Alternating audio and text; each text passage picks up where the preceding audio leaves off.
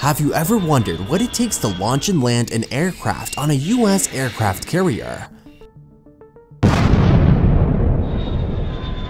Flying onto and off of a US aircraft carrier is no easy feat.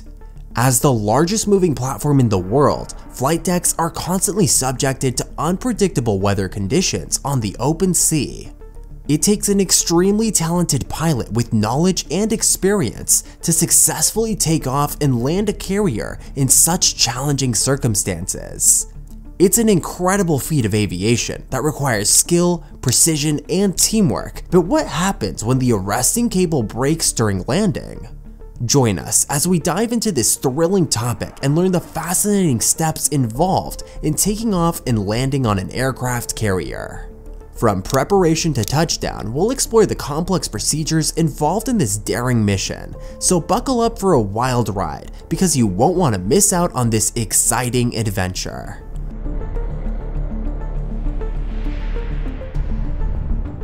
Before takeoff, to ensure a safe flight and return before taking off, pilots must prepare for their mission this includes receiving a detailed briefing from air traffic control regarding weather conditions, runway patterns, wind direction, speed, altitude, restrictions, or any other deviation from normal flight procedures. All this information helps guide pilots towards making correct decisions once they're airborne. It also gives them an opportunity to make sure that all their equipment is functioning properly before takeoff. Taking off from an aircraft carrier requires specialized techniques that are not used anywhere else in aviation. Once pilots have received their briefing and checked all systems are running correctly, they'll be hooked up to the carrier's launch system. Pilots engage the aircraft controls at this point and climb into the position for the ascent. The most common method of launching is known as catapulting or cat shots, a process whereby the plane is accelerated forward via pressurized jets of water and steam, reaching speeds of up to 230 knots in just 2 seconds. Split second decisions pilots need to analyze real-time data such as wind direction and speed in order to steer clear of any hazards while in the air. Making split-second decisions based on their information can mean life or death depending on the situation at hand. Pilots must also keep an eye out for other aircraft in order for them to avoid mid-air collisions with other vessels during ascent. Approaching an aircraft carrier is different than approaching any other airstrip. Instead of using runways, pilots descend directly onto a smaller platform surrounded by seawater. There is no room for error here. Once they've reached an appropriate altitude, they'll lower their tailhooks so that they can catch onto one of the arresting wires suspended several feet above the deck surface.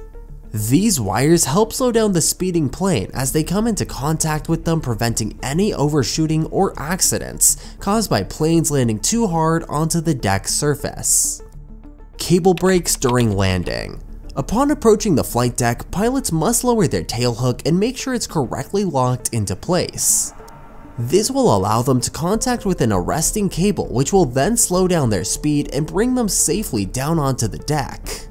The cables that hold ships in place act like shock absorbers, cushioning planes against sudden deceleration caused by sudden braking or spiraling winds. If a pilot's tailhook fails to engage with one of the arrestor cables due to its failure, they are then forced to abort their landing. It means that the pilot needs to make the plane airborne by any means or he will collide with the sea. It requires extreme skills and reflexes to pull this off and even if aborting is successful, it can still be extremely dangerous as it can lead to other aircraft on the deck colliding. That's why it's essential that pilots take extra care when maneuvering around carriers, ensuring optimum safety as far as possible. Having been briefed on potential hazards beforehand helps instill better decision-making skills needed for optimal safety measures during flight operations. If a pilot manages to land safely despite one cable breaking, then he slash she will disengage immediately from arrested wires after touching down, usually taxing away slowly towards secure locations along deck only once all necessary precautions have been taken. This step is just as important as landing itself since any mishaps here could spell disaster for the pilot and everyone nearby. Respect should be shown towards those brave servicemen who have trained hard in order to work aboard US Navy carriers. Not many people can say that they have flown around the world's largest ships, let alone landed successfully upon them, despite numerous obstacles standing between them and success. We owe great thanks to all of the men and women in the US Navy who put their lives at risk to make sure that our country's aircraft carriers remain operational and safe. In conclusion, the arresting cables on US aircraft carriers provide a critical component in allowing pilots to take off and land safely.